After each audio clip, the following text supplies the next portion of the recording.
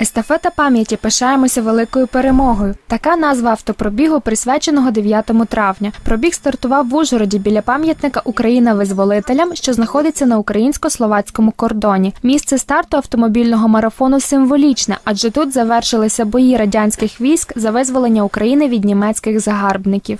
Були дві, дві ідеї: починати е, з місця, де почалася визвольна боротьба, або пройтися в зворотньому напрямку по цих е, дорогах, е, куди е, йшли відповідні бойові події і велася визвольна боротьба. Вирішили, що стартують з міста Ужгород, Ужгороду в сторону Перечин Березний, Свалява, Міжгір'я Воловець. Автопробіг передбачає поїздку в усі районні центри Закарпаття, де активісти покладуть квіти до пам'ятників воїнам-визволителям та зустрінуться з місцевими ветеранами. В акції взяли участь і представники молодіжної організації, які вважають за свій обов'язок віддати шану українським героям. Багато років тому наші е, батьки, діди, прадіди приймали участь е, у напевно цього місця, цього куточка.